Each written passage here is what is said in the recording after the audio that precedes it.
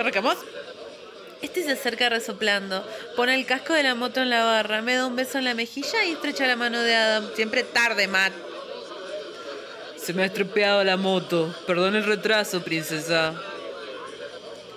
Para variar, siempre tienes alguna mala excusa. La última vez habías dejado las llaves en el bolsillo de tus vaqueros. Agita las manos delante de él como para defender su buena fe, pero su sonrisa burlona lo traiciona. Te prometo que no es mentira. Mi moto me ha dejado tirado. Yo nunca te haría eso, princesa. Uy, qué bonito. Parecen una parejita. Lo fulmino con la mirada. Su observación me hace reír. Lo fulmino con la mirada. No quiero que se imagine nada con Matt. Solo es un amigo, nada más. Olvídate, Adam. Saori es más inaccesible. Ah, porque el otro lo dijo. Ay, uy, que parece una parejita, lo dijo Adam. Ey, cualquiera. Oh, parecen una parejita. Olvídate, Adam. Saori es más inaccesible que la Gioconda. Le echo una negra mirada y tiro de la manga de su chaqueta para traerlo hacia mí, en torno a los ojos cuando intenta escaparse riendo. Dices eso porque no cedo ante tu encanto. Estarás de acuerdo conmigo que no es normal.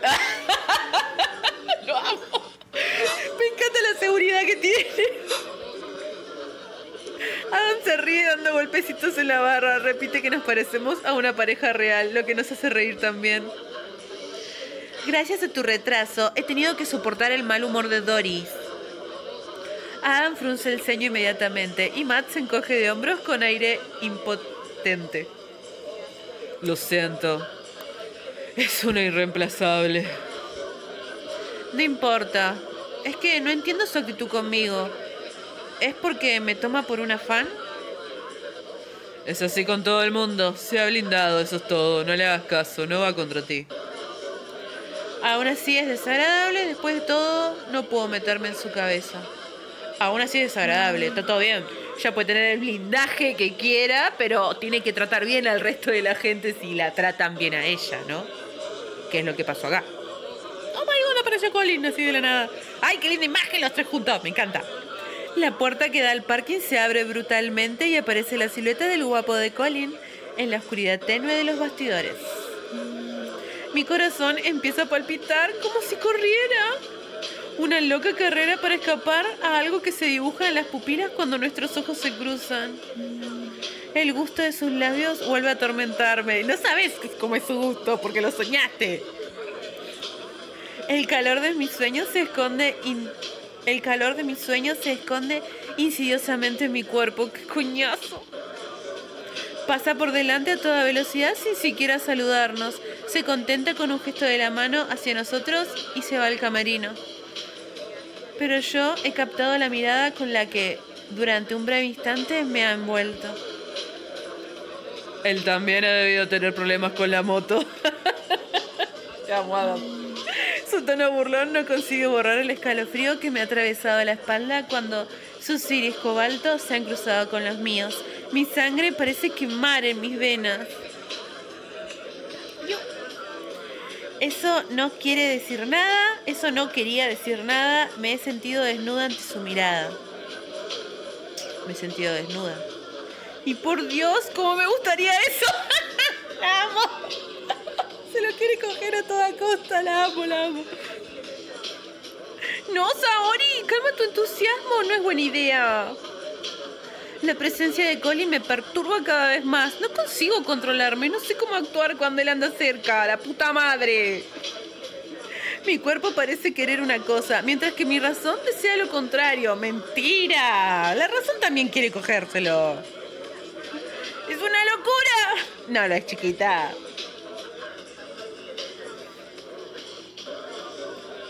El concierto ha sido fantástico, he vibrado y me he estremecido con el efecto del timbre suave de Colin. Me doy miedo a mí misma porque me siento flipada. Matt y yo nos vinimos directamente al bar en cuanto la luz del escenario se apaga para poder pedir una copa y sentarnos en la barra. Cuando el grupo sale de los camerinos y se instala en una mesa, el bar se ve asaltado por una campaña entera de fans enfurecidas. El rebaño de fans suelta de vez en cuando gritos histéricos. Matt simula taparse los oídos riendo y echa una mirada discreta hacia las chicas que se empujan a nuestro alrededor. Me veo obligada a asestarle un golpecito para recordarle que esta noche me acompaña. Me sonríe con como respuesta sin molestarse. Las fans se precipitan hacia Adam y Colin en cuanto salen del camerino, como si fueran abejas en torno a un tarro de miel. Siento un toque de celos muy desagradable. Es uno de los aspectos de trabajar de rockstar. ¡Celos! Me cuesta soportar que decenas de chicas manoseen a Colin como un trozo de carne, obvio. No consigo imaginármelo de otra forma que en mi sueño, cuando estaba ardiente y era todo mío. Intento evitar mirar en su dirección, pero es muy difícil. Colin tiene la piel brillante de sudor, veo el cuello empapado y por alguna extraña razón me gustaría poner mi lengua ahí. Se lo quiere coger a toda costa. Me encanta porque en esta ruta es la que más caliente está la loca, la amo. Lo que evidentemente es una malísima idea. Sospecho que tengo las mejillas coloradas porque Matt me mira con cara rara y sospechosa. Presto atención en tragarme el deseo traicionero que me invade e intento controlarme, concentrarme en una cosa, mi copa, por ejemplo. Muy bien, muy bueno. Seguimos con la siguiente ruta. Chao. Pero cuando una de esas fans se pone de repente en las rodillas de Colin y pega su boca a la suya con voracidad, siento un abismo en mi pecho. Los dedos de Colin suben a lo largo de la espalda desnuda de la chica y mezcla su lengua con la suya, en una especie de baile que me provoca un escalofrío de asco. Desvío la mirada muy lentamente, asaltada por esta visión que podría atormentar mis noches. Como una pesadilla. Una ola de rabia y celos me invade de mala manera. Me siento mareada. Me tomo la copa de un trago, totalmente aturdida por la imagen de Colin besando a otra. Estoy paralizada, quisiera irme muy lejos. Mm. Y la verdad, yo me iría a la mierda. Sí. La realidad me golpea en toda la cara. Ver a Colin besar a esta petarda me, me da un vuelco al corazón. Una acidez desagradable invade mi boca. Estoy celosa, qué chorrada. Pero de pronto, como si Doris estuviera bajo el control de mis propias emociones, se levanta de su sitio y señala a Colin con un dedo vengador. En su cara se puede ver el deseo de arrancarle los ojos al afán o los brazos en torno a la nuca de Colin igual que yo. Venga, Doris, estoy contigo, verdaderamente no es un tutu. Venga. Joder, estoy harta de todo esto. No estamos en un burdel, mierda. No puedes besar a tus fans en otro sitio que no sea este. La verdad que acá la banco. Agita un dedo acusador hacia Colin, que la contempla con mala cara. Estoy harta. Estoy hasta las narices de que toquemos en estas salas cutres. Estoy harta de soportar a todas vuestras bobas en celo. Yo no hago música para esto, Colín. Cálmate, Doris. Un concierto es un concierto. No puedes tratar a nuestras fans de esta forma. Te recuerdo que gracias a ellas, entre otras cosas, podemos tocar. Me importa un carajo. Yo. me importa un carajo. Yo no toco para ellas. La cara de Colin Tuerce el gesto cada vez más. Un aire metálico y feroz se apodera de sus rasgos. El color de sus ojos se vuelve más pálido, casi plateado. Obliga a la chica a bajarse de sus rodillas y se levanta. Todos los pares de ojos del local están sobre ellos dos. Me siento aliviada, siento mis celos cambian de blanco. Sí, cambian de blanco. Vale, he retirado, ha retirado las sucias manos de las fans de sus hombros, pero se acerca a Doris con un paso peligrosamente sexy. La mira con ojos sombríos, con las manos en los bolsillos de sus pantalón. Doris levanta los ojos hacia él. Ahora ella parece débil, pero la ira sigue quemando sus pupilas. Ya basta. Su voz está tranquila, controla perfectamente la irritación que siente bajo cada uno de sus tensos músculos. Siento que estoy atada a su cuerpo. Es una sensación muy extraña y completamente imposible. No he hecho nada con Colin que me permita sentir esta proximidad y sin embargo siento en el fondo de mí la tensión que me recorre.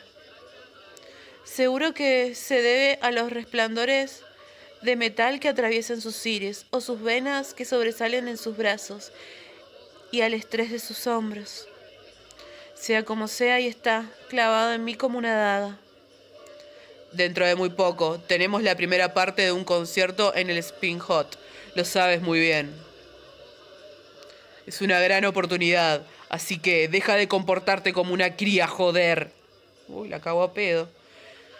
Debería intervenir para decirle a Colin que se lo tomara más despacio, porque comprendo muy bien a Doris. Pero no digo nada, apenas me atrevo a respirar de lo tenso que está el ambiente. Los ojos de Doris lanzan rayos, salta de rabia, aunque percibo en sus iris el velo de lágrimas que se notan poco a poco. No entiendes nada. ¿Sabes qué? Vete al carajo, Colin. Estoy harta de toda esta mierda. Arréglense sin mí, putos. si fuera Argentina diría eso. Le hace un corte de mangas y se da la vuelta, mientras que Colin la mira irse, con una cara tan tenebrosa que incluso las fans mantienen la distancia. Mierda. Ah, se le fue a la mierda la loca. ¿Es necesario que te trances a una fan delante de todo el mundo? O sea, poco menos de promiscuidad, ¿no? O sea, un poco más de cuidado. El silencio reina de pronto en el bar. Colin tiene la mano entre sus cabellos. Su cara se nota enfadada, aunque intenta mantenerse lo más estoico posible. Sus ojos azules parecen hielo picado. Adam suspira, se levanta y toma la decisión más lógica. Les dice amablemente a las fans que se vayan con su encanto habitual. Yo no me atrevo a moverme en mi sitio, no puedo dejar de mirar a Colin, no lo puedo dejar de mirar. Aunque enfadado, Colin sigue teniendo ese magnetismo. Me gustaría ayudarle, pero no sé cómo. Colin suelta súbitamente un gruñido y se va a los bastidores. Adam nos hace una señal con la cabeza para que le sigamos. Upa. Y no me dice, me acaba la vida. ¿Se me acaba? Sí, ya, ya se me acaba. Matt me lanza una mirada perezosa, me coge la mano y me lleva detrás de ellos. Me siento aliviada por poder quedarme, sé que no es mi sitio, aliviada. ¡Fuck! ¡Qué interesante que quedó la puta madre! ¡Se fue a la mierda, Doris! Bueno, igual la entiendo. Debe ser re doloroso para ella ver al chico que le gusta voltearse otras minas siempre. Qué loco. Bien, me siento aliviada por haberme quedado, obvio. Quisiera coger a Colin entre mis brazos para intentar calmarlo, aunque estoy segura de que me mandaría paseo a la velocidad de la luz. Es posiblemente con lo enojado que está. En la estancia cerrada, Colin anda de un lado para el otro, pasando la mano por su cabello largo y oscuro. Adam se deja caer en un taburete con los codos en las rodillas. Menuda mierda. Doris no puede hacernos esto ahora. Sabe lo importante que es. A Doris le da igual. Su voz vibra de cólera, se domina cada vez menos, le da una patada a una caja que rueda por el suelo. Joder, es el concierto de nuestra vida. Podría lanzarnos, si lo hacemos bien, algún productor podría fijarse en nosotros. Tú nos ves tocar solo con una guitarra y la batería. Es inútil, estamos acabados. Tendremos que anularnos anularlo. Tenemos que convencer a Doris para que vuelva. Los dos parecen hechos polvo, tanto uno como el otro. Los comprendo, no meterme en el asunto. No, los comprendo. Todo su futuro se basa en este último concierto. Tantos sacrificios para que la situación estalle en pedazos en una fracción de segundo. Doris es más terca que una mula. Ahora no podemos confiar en ella. Es demasiado importante. Aunque acepte volver, ¿qué haremos si de bloque de nuevo le... Vamos nuevo. ¡Vamos nuevo! Aunque acepte volver, ¿qué haremos si se bloquea de nuevo a la víspera del concierto? Tienes que hablar con ella, a ti te escuchará. No. No. Fue como un no. Bien, así como Es la única palabra que suelta. Con las manos en los bolsillos, sigue andando de un lado para el otro como un león enjaulado. Quisiera abra... Quisiera abrazarlo para calmarlo. Me gustaría poder estrecharlo entre mis brazos y calmar la ira que pasa por sus venas. No me gusta verlo así. Matt se rasca bruscamente la garganta y levanta la mano para hablar como si estuviera en el colegio. Ay, mi amor, me imagino a Matt levantando la manito así. Hola, ¿puedo hablar? Eh, os recuerdo que esa... ¡Matt! Te amo. Eh, os recuerdo que Saori toca el piano. Quizá podría ayudarlos para el concierto, ¿no? Al menos hasta que Doris entre en razón. Abro los ojos desconcertada, bajo los ojos hacia el parquet. Abro los ojos así como ¿What? Matt se ha vuelto loco oficialmente. Además, tiene una voz increíble. Estoy a punto de desmayarme. ¿Cómo puedo hacer callar a Matt sin llamar demasiado la atención? Adam se pone muy contento, se acerca a mí y me coge por los hombros como si fuera una salvadora. Es una gran idea. ¿Harías una prueba con nosotros? ¡Obvio! Debo estar soñando todavía. ¿Esto no puede estar ocurriendo? ¿Eh? Pero, ¿qué estás diciendo? ¿Qué chorrada es esta? Pará, ¿eh? Que sí me voy a tocando el piano. La voz de Colin hace bajar de golpe la suave tensión que comenzaba a invadirme. Me lanza una mirada glacial y enfría literalmente mis ardores. Saori, ¿en serio? Pero, ¿tú la has visto? Somos un grupo de metal, no la escuela de fans. ¡Ey! ¡Ey! O sea, te calmas, Colin. No somos una fucking fan. Abro los ojos alucinada. Definitivamente, este grupo no tiene igual para hacerme pasar por todas las emociones. Colin, el primero. ¿Perdona? Se está pasando, me está apeteciendo impresionarle. Me está apeteciendo impresionarle. ¿Quién te pensás que sos, chiquito? ¡No! Pero para ti, amigo, deja de burlarte las costillas, buscarme las costillas todo el tiempo. La mirada de Colin arde pasándose sobre mí. Me mira de arriba abajo como si fuera un trozo de carne. Oye, deme un segundo que mi perro está ladrando mucho. Pero la puta. Go. Le devuelvo la mirada con la misma insolencia. Ser pianista en un grupo metal con Colin de cantante me parece completamente surrealista. Pero me considera con tal desprecio que siento que me crecen alas. No sé si es la mejor o la peor idea del siglo. No sé si estaré a la altura. Con altura. Ni siquiera sé si seré capaz de tocar tres notas al piano sin enloquecer bajo la mirada de Colin. Pero una cosa es segura. No pienso dejar que este estúpido se salga con la suya. Prefiero abandonar si se va a burlar de mí. ¿Quién va a abandonar, nera? No. No pienso dejar que este estúpido se salga con la suya. ¿Colin no cree que pueda? ¡Pua! No deja de humillarme. No voy a dejar que lo haga sin reaccionar. Aunque lo deseo tanto como sea posible, no dejaré que me humille de esta forma. Este imbécil se va a quedar alucinado. Me encanta, me encanta. Genial. ¡Ah! ¿Qué capítulo he hecho? Me olvidé. ¡Capítulo 3! ¡Yay! Me acerco a Colin, furiosa por su comportamiento y su manera de mirarme, como si no representara nada. ¡Oh, shit! Quiero seguir, qué interesante. Amo a Colin.